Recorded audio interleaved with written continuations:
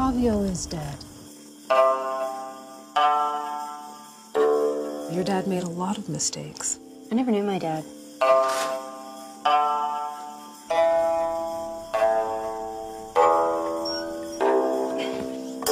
You're still my baby girl, right?